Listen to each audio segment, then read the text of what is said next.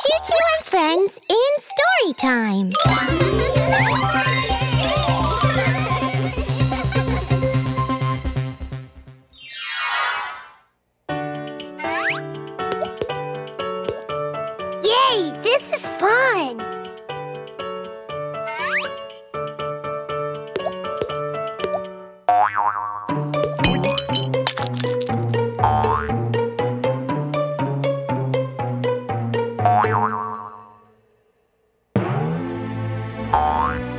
Cussly, were you playing ball inside the house? No, Mommy, I wasn't. Why would I do such a thing, Mommy? Then how did this happen? Uh, uh, Mommy, he did it. Alex did it. He was flying around and bumping into things and, and he crashed into the face. Well, if Alex is gonna be breaking things around the house, then I'm afraid we can't let him inside. He'll have to stay in the yard.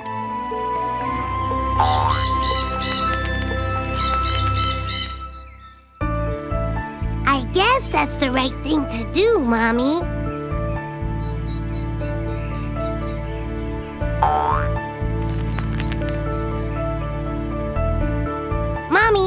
I think I'll go up to my room and finish my homework. Great. I'll see you later. You're a good boy, Cussly.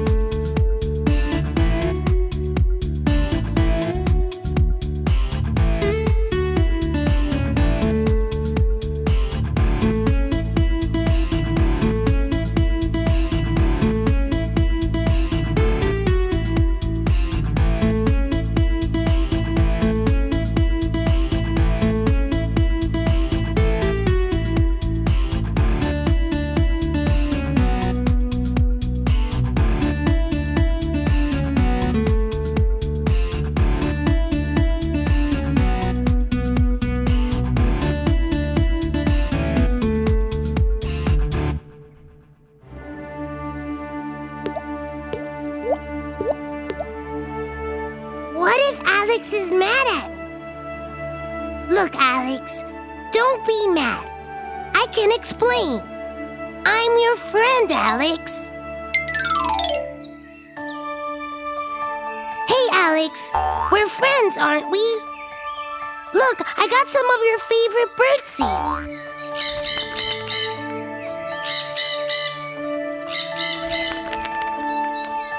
It's okay if you don't want the birdseed, Alex. You can have this juicy apple.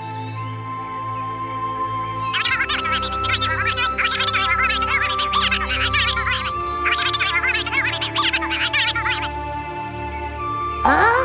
Look, I can explain.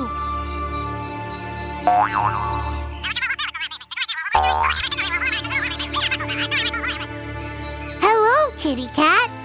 Hi, puppy. Will you play with me? Huh?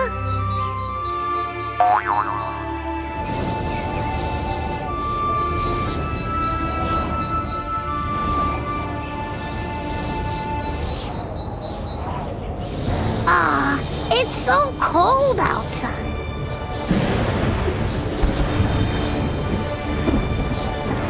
Oh no! Ah! You didn't do anything. You're being punished for something I did. I'm sorry. I'm sorry. No! No!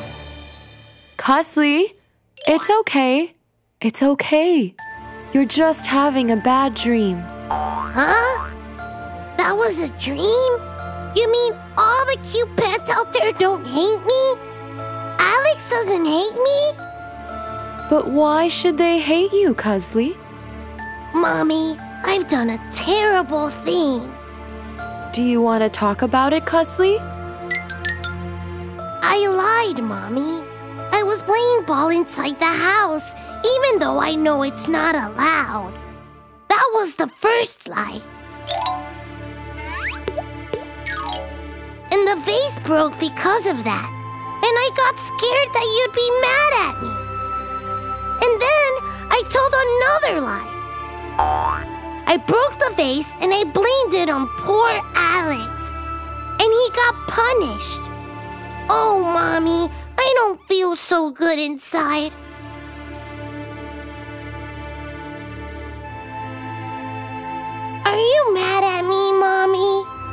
No, Cussly.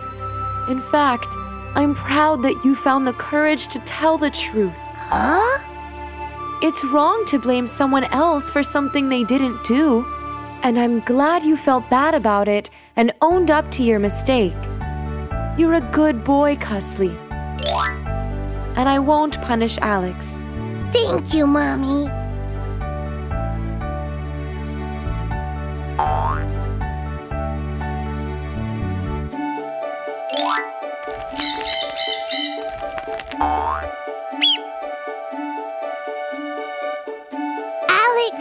Buddy. I'm really sorry for putting the blame on you. I've learned my lesson. I'll never do something like that again. Do you forgive me? Huh? Do you? Show me that you forgive me, Alex. Uh, thanks, buddy.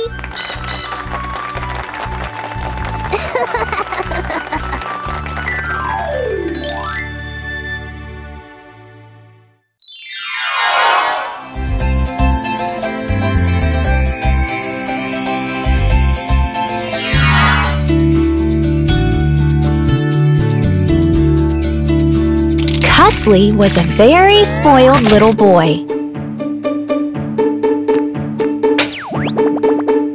He would always throw tantrums when he wanted something.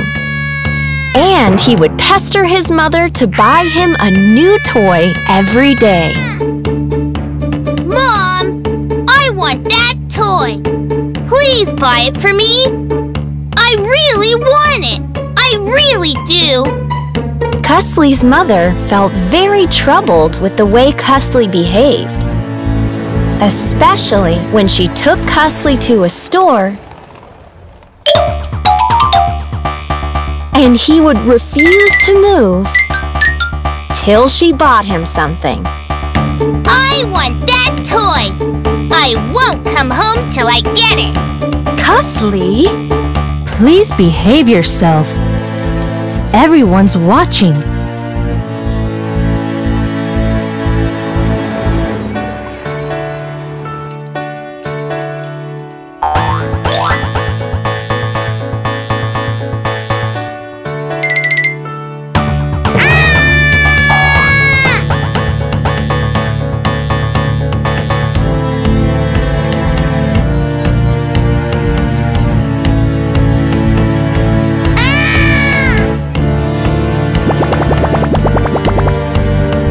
One day, Cussly's mother decided to be very firm with Cussly. I want that toy car.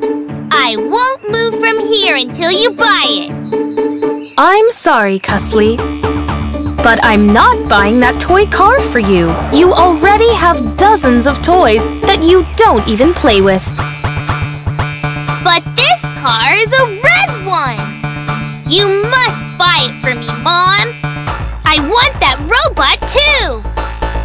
I'm sorry, Cussly, but I'm not buying you anything.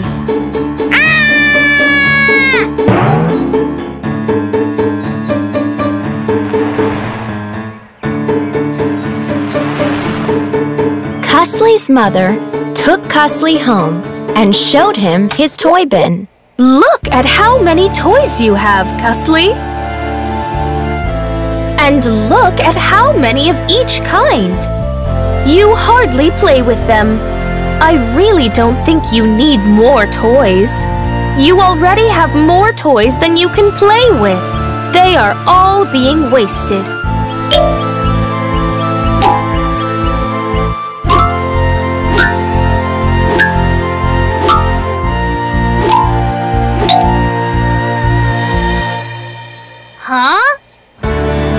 Cussly's mother then pointed out some of the other children from the neighborhood.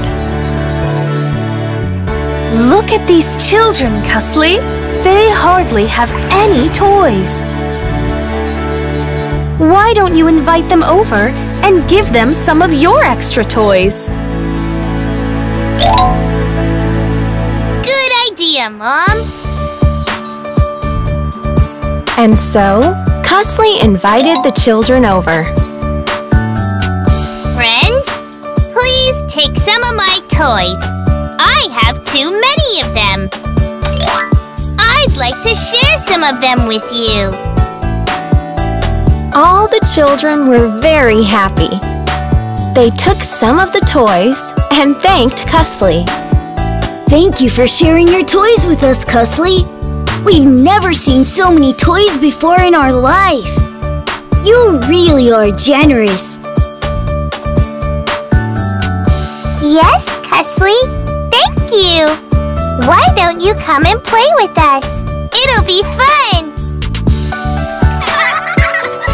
Cussly felt very happy now. He realized that his mother had made him do the right thing. Giving his toys away had made the other children very happy. And the toys he had stopped playing with were being put to good use.